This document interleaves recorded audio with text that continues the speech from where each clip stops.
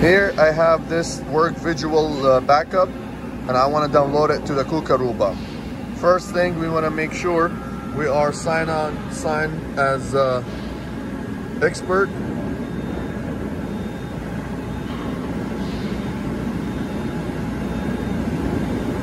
And uh, there is no program selected. And now here we open this, the software.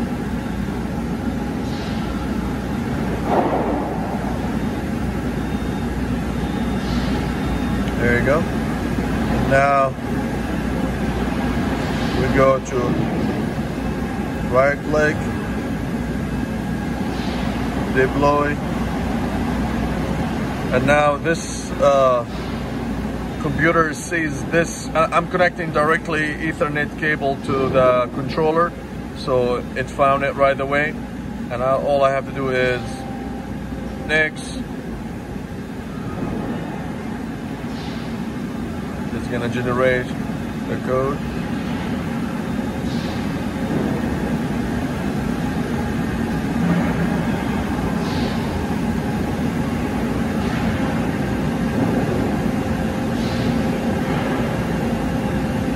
Good, I have no issues.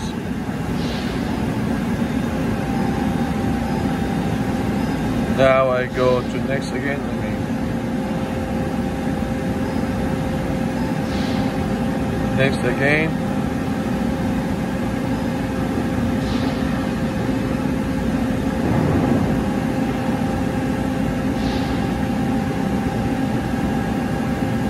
Next again.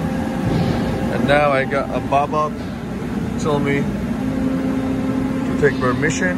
Yes.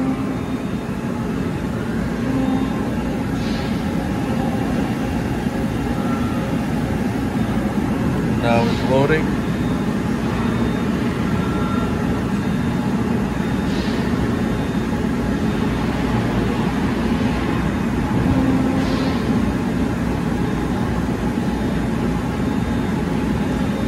This is the difference between the one currently on the Kuka and the new one.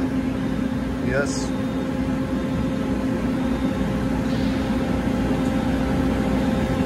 And now the robot will uh, reboot and that will be the end of it.